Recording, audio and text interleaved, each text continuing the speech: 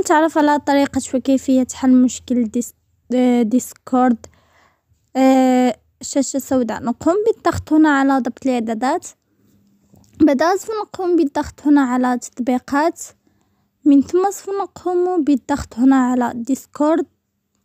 فيظهرنا على هذا الشكل. من ثم سوف نقوم بالضغط هنا على إيقاف الإجباري. بعدها سوف نقوم بالضغط هنا على الموافقة.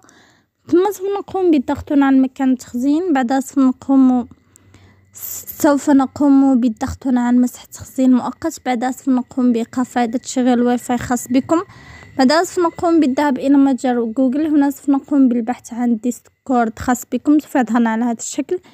وعندما تجدون هنا تحديد قم بضغط عليه وسيتم تحديد تطبيقكم ديسكورد خاص بكم. هكذا نكون قد قمنا بحل المشكلة.